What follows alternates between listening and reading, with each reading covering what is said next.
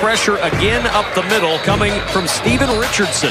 And started quarterback. He's going to play action on the opening play. Pressure comes, and Steven Richardson wraps him up.